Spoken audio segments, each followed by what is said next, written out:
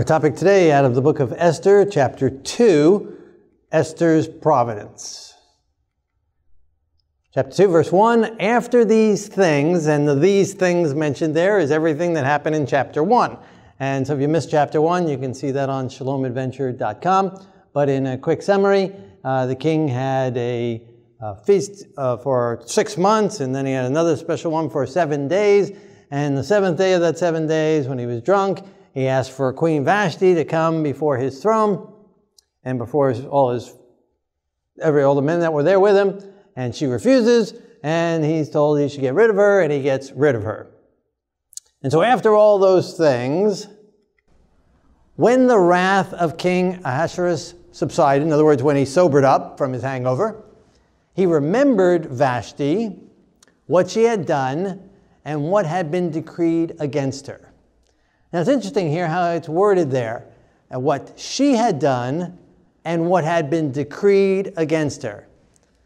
Not what he had commanded her rashly and foolishly to do, and thus she refused to do. Or no, not what his advisors, what he agreed for his advisors to do to her.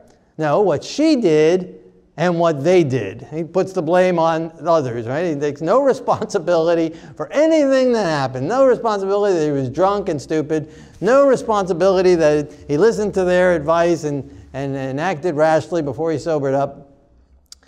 He blames it on them. He remembers what she did and what had been decreed against her. And he's thinking, now I don't have a queen. And no doubt, maybe the anger is starting to build up again. The red is starting to move up his neck again. And so his advisors quickly say, The king's servant said, Let beautiful young virgins be sought for the king. Appoint officers in all the provinces, that they may gather all the beautiful young virgins to Shushan, the citadel, into the women's quarters, under the custody of Hegai, the king's eunuch, custodian of the women. Let beautiful preparations be given them, and then let the young woman who pleases the king be queen instead of Vashti. Well, this thing pleased the king, and thus he did so. Okay, so they come up with this quick plan. Okay, we got rid of Vashti, but you know, don't worry, king, it's going to be all right. We'll get you another one. Not only will we get you another one, you'll get to pick, and you'll get to pick among a whole bunch, however many you want. We'll just bring them all to you, and you just sit back and you pick whatever you like. And Historians tell us that he was quite a womanizer. Some of the remains that they did find and excavate seem to indicate that there were buildings that very well could have been homes for the harem that he had. And we see that even when he had Vashti, he no doubt had other women because it mentions that there already was in place this women's quarters under whom Hegai, the king's eunuch, was the custodian of the women. And uh, you understand what Hegai the eunuch, you understand what it means to be a eunuch. I'm sure that wasn't by choice or by birth. He probably was taken, maybe captive from one of the other lands that they had conquered. And, you know, oh, I want to be in the, the, the cabinet of the king. Well, not necessarily such a great position would end up as being yours. You might be assigned to be the custodian of the women, which means you have to become a eunuch so to make sure there's no hanky panky going on in the king's quarters, so he assigned someone as custodian over the women who would have no desire for the women to keep everything safe as far as his concubines for him, his, his concerns. And it might not be a bad idea for, uh, for some of our elected officials to have that done. That way we wouldn't have some of the problems we have in, in this country. It's amazing. There was this uh, person running for senator, I believe, and it just weeks before the election, it was shown that he had committed multiple affairs, and he still got 48% of the vote, almost won, even after all of that. Unbelievable. There's another lady in Congress who uh, is a Muslim, and, and yet she committed an affair with uh, her advertising agent after giving him hundreds of thousands of dollars to his agency. And then I think they got married after she had already married her brother. I don't know if that's under Islam law. I don't think so.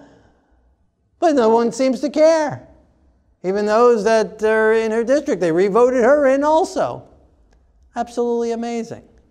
Not also, but they voted her in. At least the other guy didn't get in, but they voted her in again. Unbelievable. So, anyway, the king didn't want any of that kind of stuff going on. And so, back in that day, he made them eunuchs, which I'm sure Hegai was not excited about at all. Could you imagine being now in that position? He's now in this, he's got this job, and he probably can't leave the court much. Probably a 24 7 type position. That's his life. Never going to have a family, never going to get married, never going to have children. Horrible to live under those conditions. And so all these women being brought in before him, and they have to be under his. I can't imagine he's such a happy camper under those circumstances. I have to be forced into that job and have that done to him.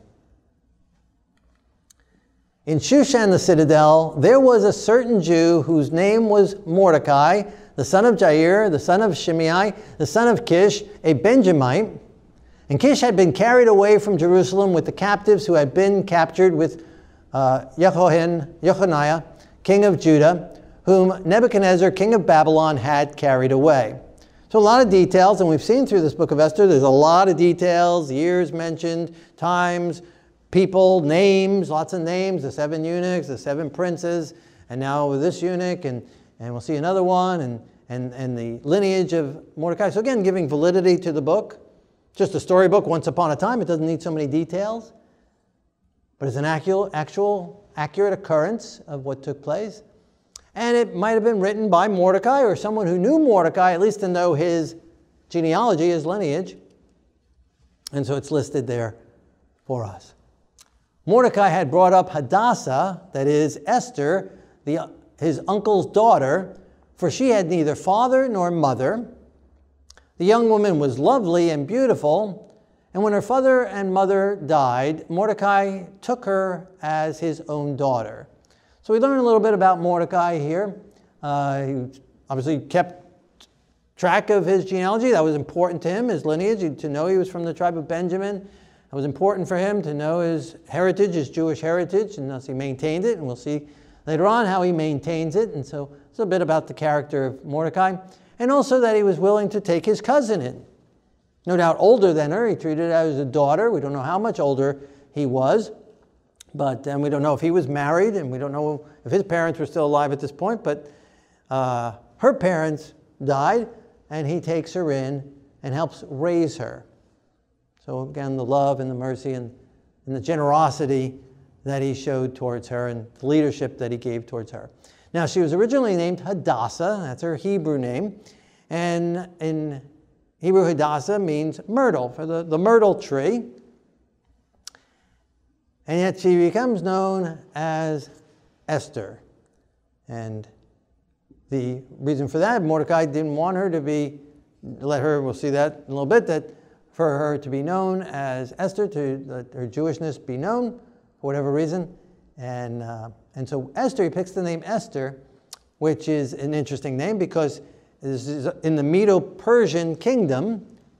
And the media part of the kingdom, the language of the Medes, Esther means myrtle. So, similar to the Hebrew, so still keeps the same name in that sense. And in Babylonian, which no doubt there was still Babylonian influence, because that's the kingdom, one of the kingdoms that the Medo Persians took over. In Babylonian, Esther means Ishtar, the goddess of Ishtar, where we get the name Easter from for the Easter occasion. And Ishtar was a, a goddess, a pagan Babylonian goddess, and she was a goddess of fertility. And she was a goddess of love and a goddess of war, which could be appealing to a king, the king wanting to have a, uh, a queen who will give, her children, give him children and keep the lineage going, and who would be a goddess of war and help him in his wars. And so it could have been a, an appealing name, a wise name. And then in the, in the uh, language of the Persians, Esther means star. And so that would be an important name, a name that the, uh, the astrology and uh, astrologers, and the, so that the stars could have meaning for him? That'd be important? What are the stars saying? What are they lining up? What, are, what is my future? And so that would be appealing as well. And it would also be a, an important reminder every time he goes out for a walk at night and he looks up and he sees the stars, he'd be reminded of her. So, very interesting name, very wise name for Mordecai to choose for her. And it says here also, so we're going to see where we're wanting to see where God is in this book, even though God is not mentioned. And we also want to see how the book applies to us. And so here, Esther will foreshadow the Messiah in this chapter in some ways, not in every way. Uh, no one foreshadowed the Messiah foreshadowed in every way. We have David foreshadowed the Messiah, but he wasn't a perfect example. Uh, Abraham foreshadowed the Messiah. He wasn't a perfect example. Moses foreshadowed the Messiah. He wasn't a perfect example. But in different ways, each one of them foreshadowed the Messiah. And so also Esther, in some ways, foreshadowed the Messiah. So here it says that she is, had neither father nor mother. And we read in the book of Hebrews, chapter 7, regarding Melchizedek, the king of Salem, Kohen of the Most High God, who met Abraham returning from the slaughter of the kings and blessed him, to whom also Abraham gave a tenth part of all, first being translated King of Righteousness, then also King of Salem, meaning King of Peace, without father, without mother, similar to Esther, without genealogy, having neither beginning of days nor end of life, but made like the Son of God, remains a Kohen continually. So he's saying here that um, Melchizedek foreshadowed the Messiah with neither beginning nor end, neither father nor mother, neither genealogy. And so Esther, in some ways, had neither father nor mother because they had died. And we don't know when she was born. Uh, we're told her father's name, um, but we're not told her mother's or that side, uh, the genealogy that way. And we're not told how long she lives. We're not told when she dies, when the king gets assassinated, we don't know if that meant she had to get killed too, or if she was able to go back to Mordecai, or what exactly happened with her. We're not told. We're not told the ending of Esther. So, again, in some ways, like that. Back to Esther chapter 2, verse 8. And so it was when the king's command, command and decree were heard, and many and when many young women were gathered at Shushan, the citadel, under custody of Hegai that Esther also was taken to the king's palace into the care of Hegai, custodian of the women. Right? So she made it, she got picked. She won the lottery, right? Or at least she got into the final drawing, right? Like you, you get one of those flyers in the mail that said, You won $10,000. Oh, lucky you, right? Oh, look, I won $10,000. All you got to do is show up at our car dealership and scratch that off and see you really didn't win that. All you won was a comb or something, uh, you know, but they want to show you a car. Right? And so here she is. Oh, look, she won. Oh, I'm sure she was all excited about that. Every girl's dream to be uh, chosen to the ones that could possibly be picked to be queen. And so she's that much closer to being the queen, closer to the throne. Oh, I'm sure she was so excited. The life of luxury and riches and fame and oh, this is going to be great, right? Well, I don't think so.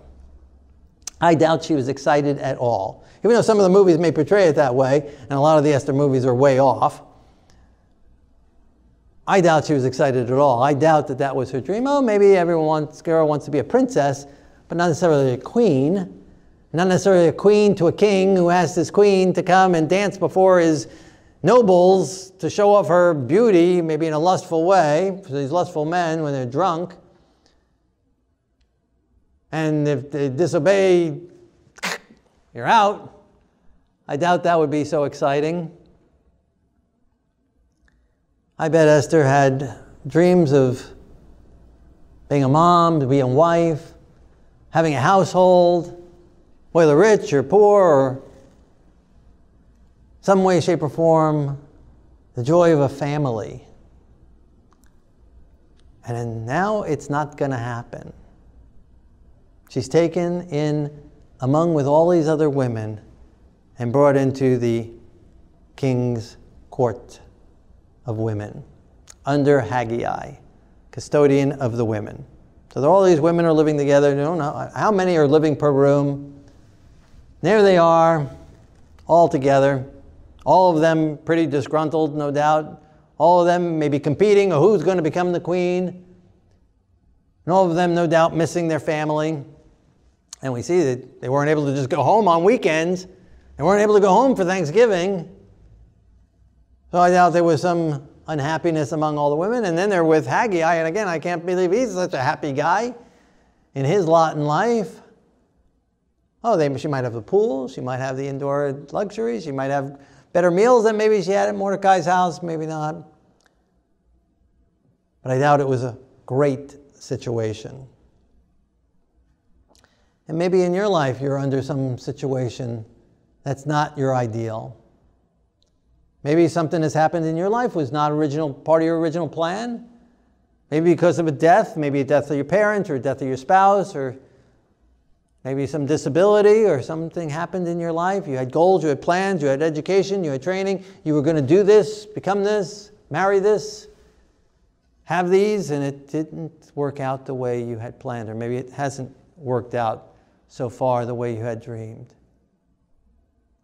Trust in the Lord. God has a plan. Verse 9 Now the young woman pleased him, and she obtained favor, obtained his favor, talking about Hegai. So the young woman, meaning Esther, Esther pleased Hegai, and she obtained his favor. So he readily gave her beautiful preparations for her, beside her allowance. Then seven choice maidservants were provided for her from the king's palace. And he moved her and her maidservants to the best place in the women's uh, in the house of the women. So something about her caught his attention, and she found favor with Hegai.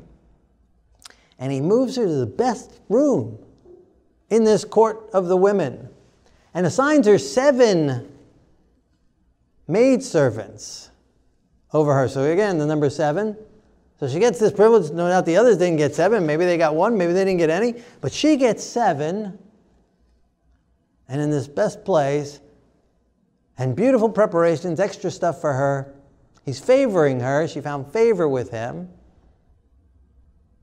Now, let me ask you a question. If she walked in there all depressed and downhearted and grumpy faced, and I don't want to be here, and I miss Mordecai, and it's not right that my parents died when I was young, and I had to be raised by my cousin, and what am I doing here, and how long is this going to take, and what if I don't get chosen? And why do I have to live with this roommate?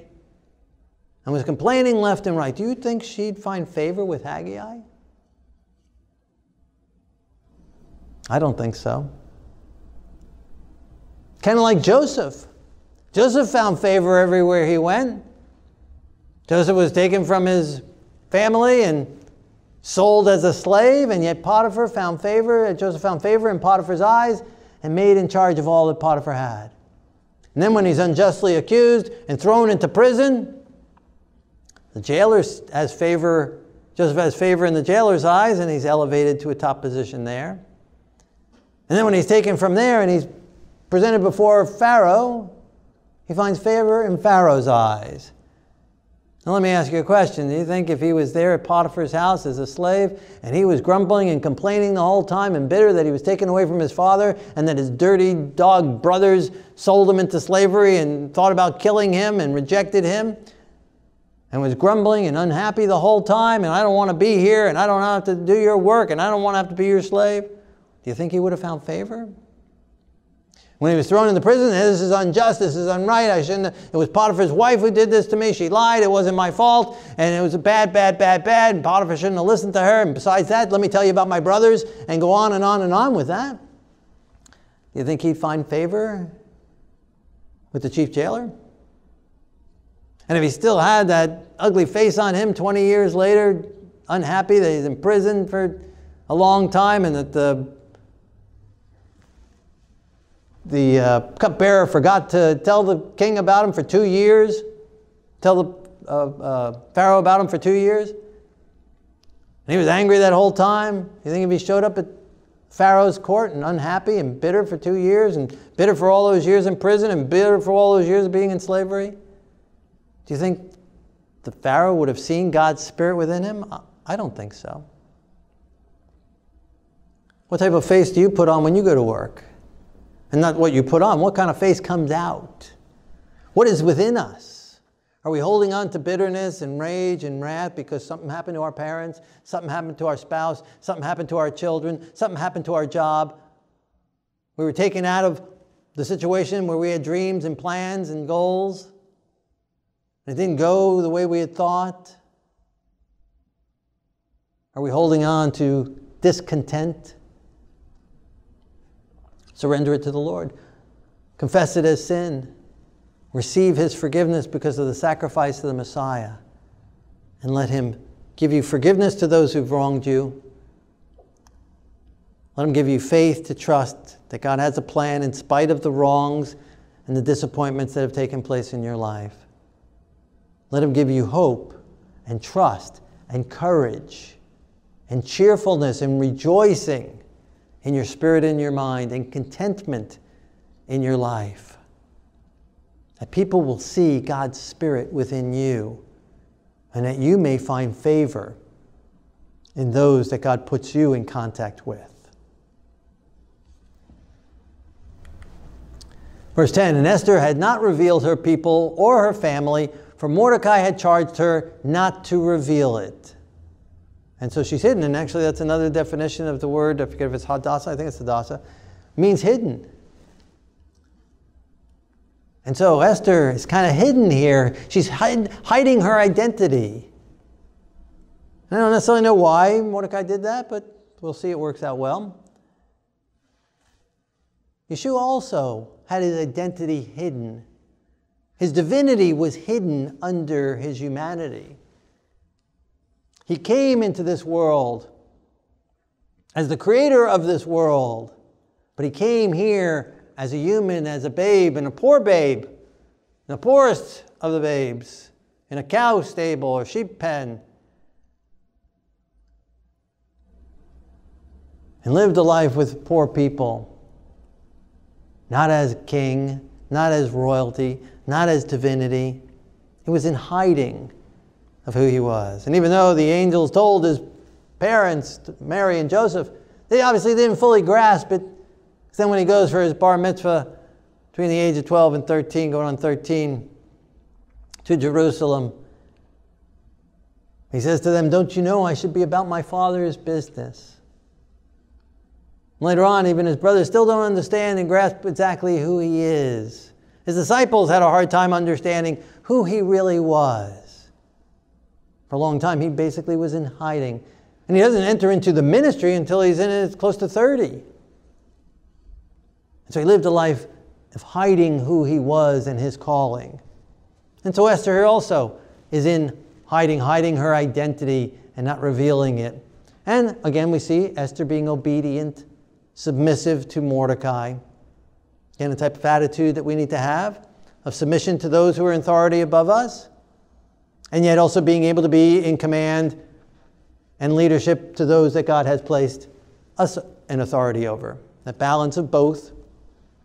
And so she does. And she's humble here and she's listening and obeying Mordecai she did from her youth. And she doesn't reveal who she is. Verse 11 Every day Mordecai paced in front of the court of the women's quarters to learn of Esther's welfare and what was happening to her. So again, once you go into the palace, once you're in the women's quarters, once you're in the king's realm, you don't know what's going on outside. She wasn't able to communicate with Mordecai easily. Because he got some messages, or somehow Mordecai heard messages, maybe he bribed Hegai or someone who knew Hegai, and he got messages of how she was doing. I mean, bribe, but I mean, you know, what paid him off to, to give me information about, uh, about my he probably didn't reveal his cousin about Esther. And so he finds out as he can, he tries, goes there every day to listen in, see what he can hear, what he can find out, what news he can obtain.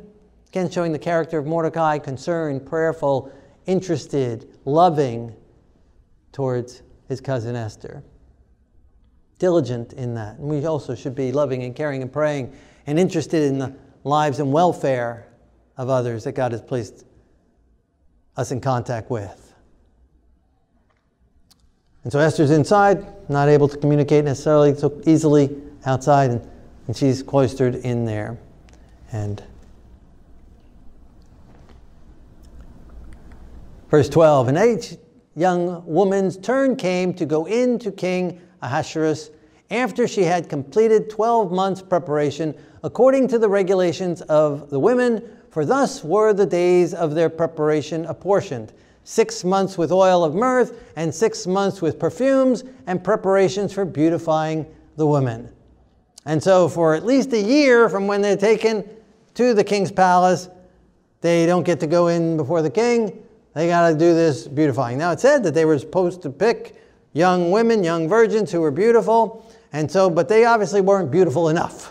they still had to grease them up for a year, get them ready. They had to put perfume on them or for six months, and then six months of perfuming them up to get rid of the smell of the ghetto or the common people and to transform this common person into a potential queen. And so 12 years, 12 months. And that means that from the first time when the first one came in, she still had to wait a year, which means the king had to wait a year. But again, I have no doubt he had other women in the women's quarters, concubines, even when he had Vashti.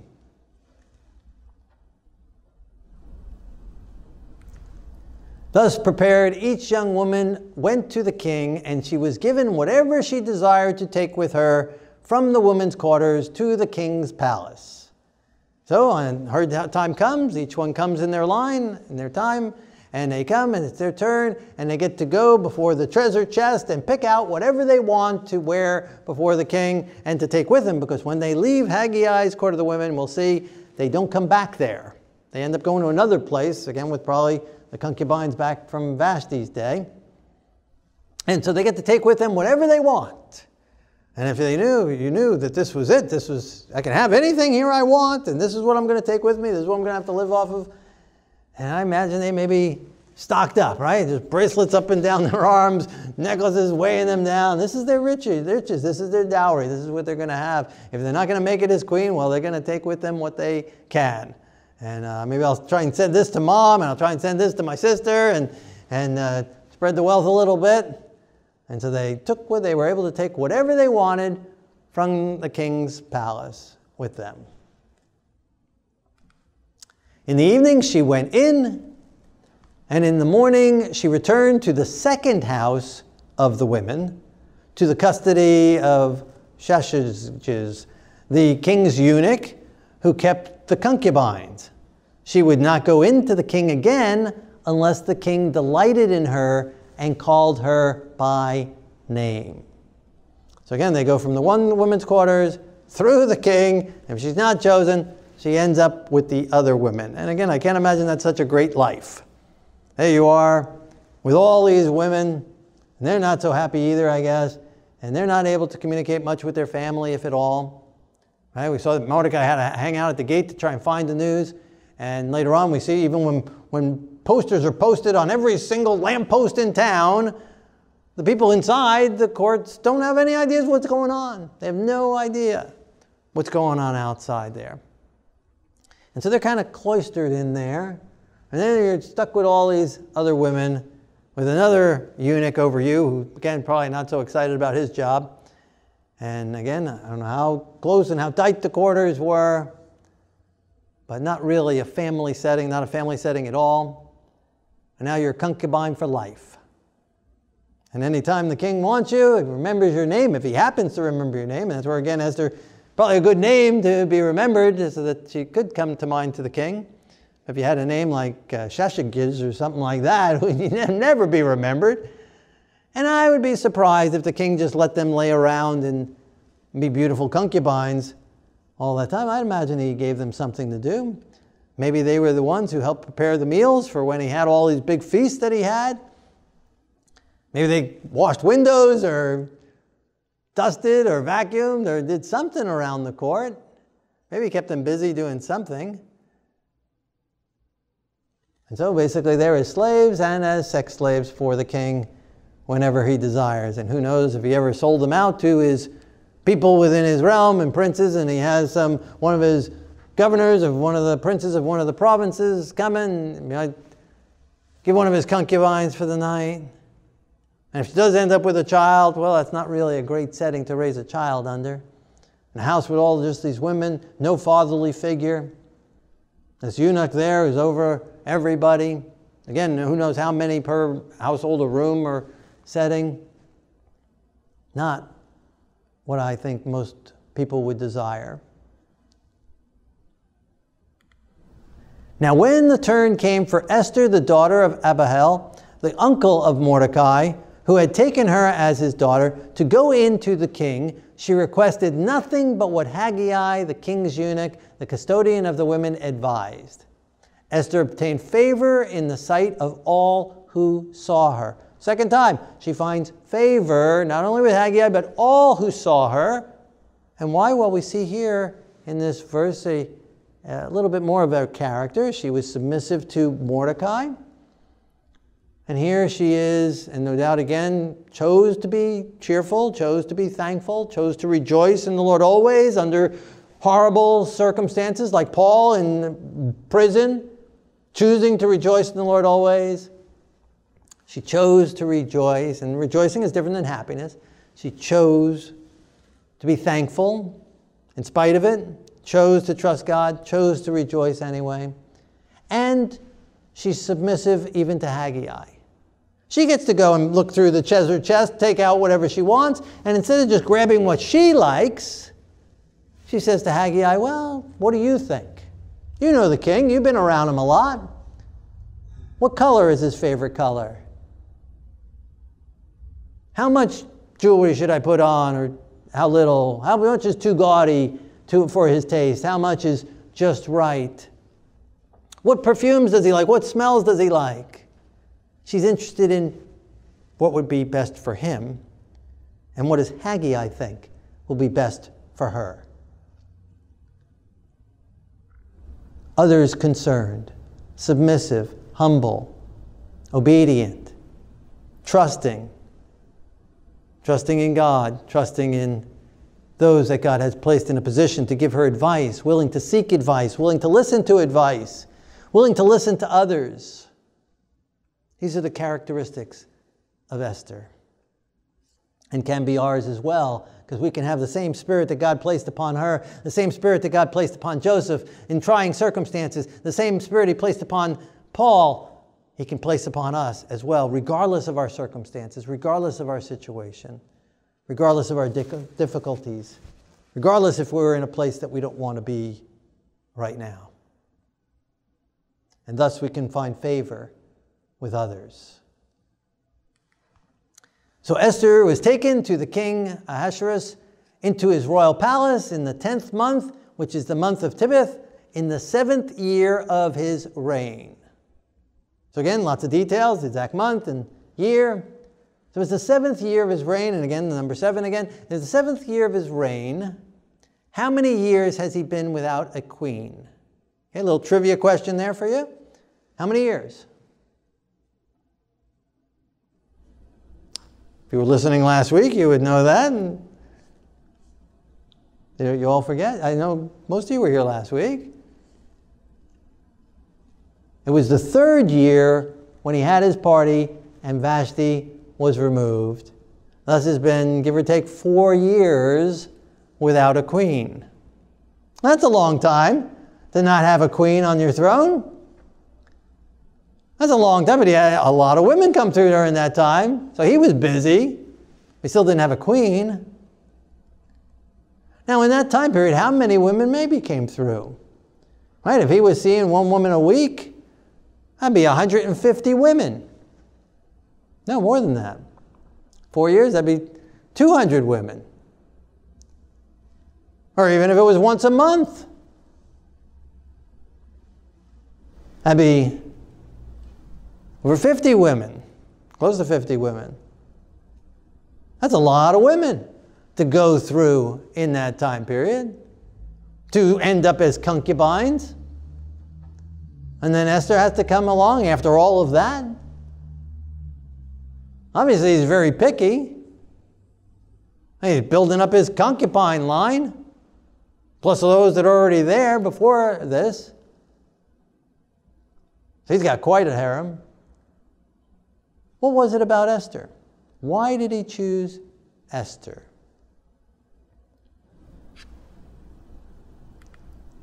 The king loved Esther more than all the other women, and she obtained grace and favor in his sight more than all the virgins. So he set a royal crown upon her head and made her queen instead of Vashti. She also finds favor with the king. Found favor with all who saw her, found favor with Hegai. Something about her. I doubt the king was just looking for another sex mate. I doubt it was sex that is why he chose her. You know, for the king, all he needed was sort of show up for him to have great sex. And he already had all these other concubines, so it wasn't for sex that he was looking for. He was looking for someone of nobility, someone who would represent the kingdom, someone who could sit with him, not again as a husband wife, that he's not interested in, but someone who can sit with him as king and queen.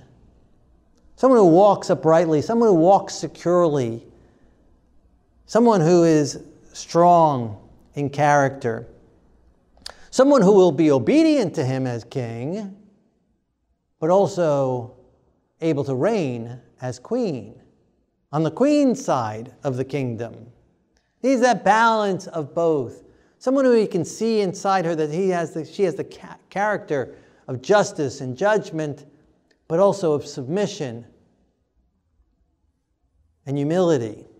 And we've already seen that Esther has the submission part, she submitted to Mordecai. She submitted to Hegai. She submitted to God's will and chose to be thankful, chose to be happy with her lot in spite of it, chose to be thankful.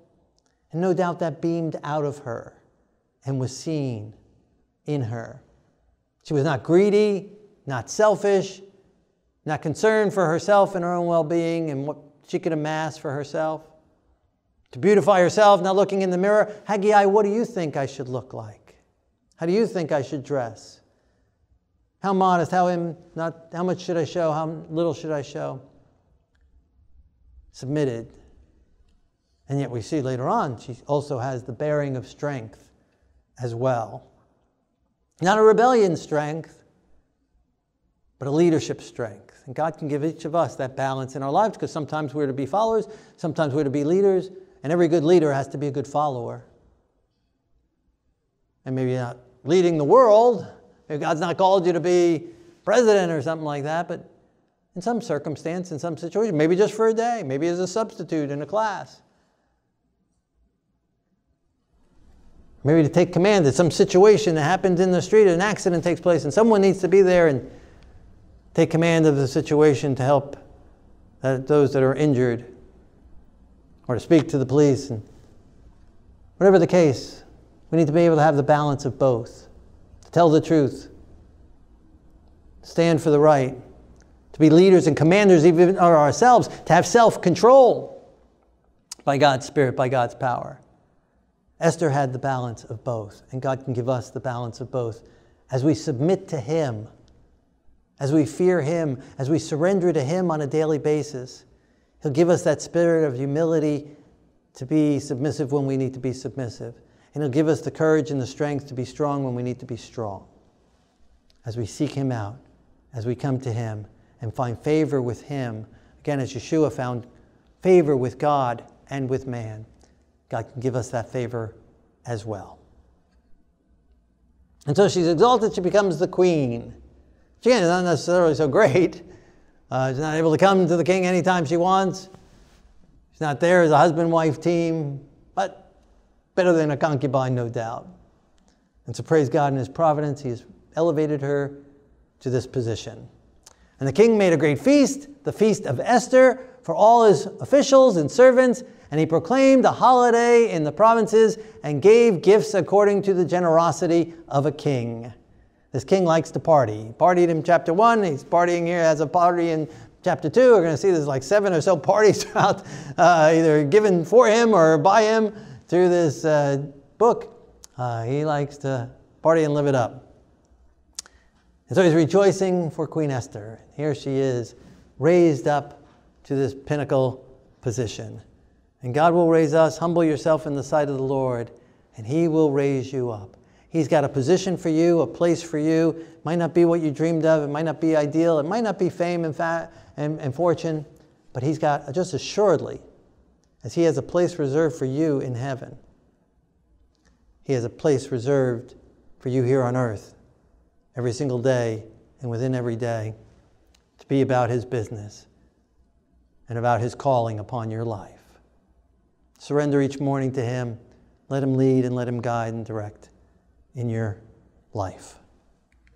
And so, in a moment as we pray, when we pray, whatever area applies to your life today, maybe you're in a position, again, a situation that's not ideal, not what you dreamed, not what you thought, not what you wanted, not your will, but you're there. Maybe it's not the job you had originally dreamed of. The marriage might not have worked out as you originally thought. Maybe the kids aren't what you originally planned, or maybe you didn't get kids. Maybe you didn't get a spouse. Maybe you didn't get that job. Maybe your parents aren't what you think they should be. Maybe your neighbors in your neighborhood, or your house, your car that you just got, whatever. But it is what it is. And we can choose to be content. If you need to choose to be content, and maybe make some changes, maybe sell that house, maybe repair that car, maybe work on loving your spouse more, and maybe love will return more. Maybe seek out a different job, maybe make the best of the job it is. But at the moment right now, choose to be content while you seek to make things better.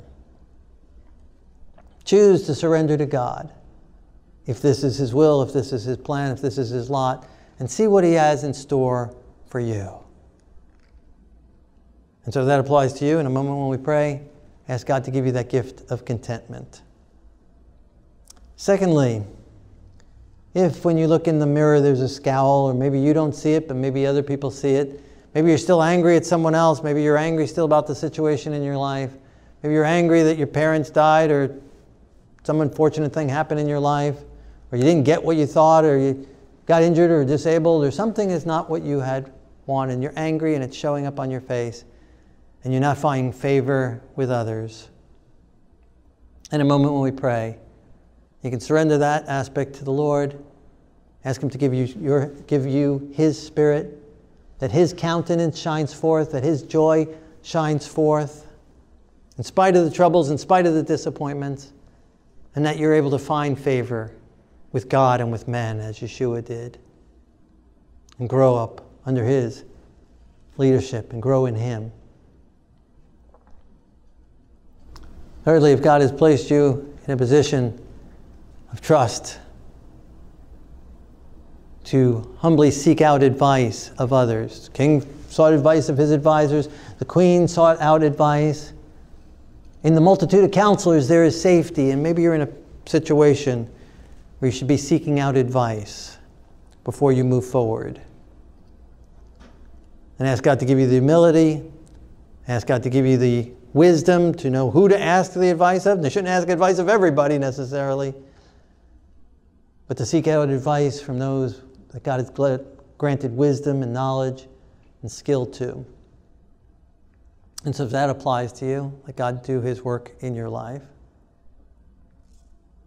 And as God is still unfolding His plans that He has for you, let us surrender our daily lives to Him. Let Him work in his, our lives. Let Him lead and guide and direct. Let Him fulfill His will in our lives.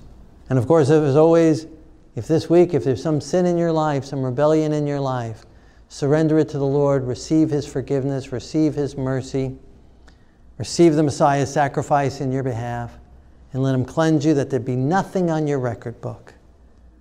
You can be without spot and wrinkle before him. Let him fill you with his Holy Spirit. Let him walk you in newness of life. If any of those areas apply to you or maybe something else, let us pray together. Our Lord and our God, King of the universe, we praise your name. And we thank you, Lord, for raising up Esther. Thank you for having Vashti brought down so that she could come up. And Lord, if we need to come down in some area of our lives so that someone else can come up, give us the humility.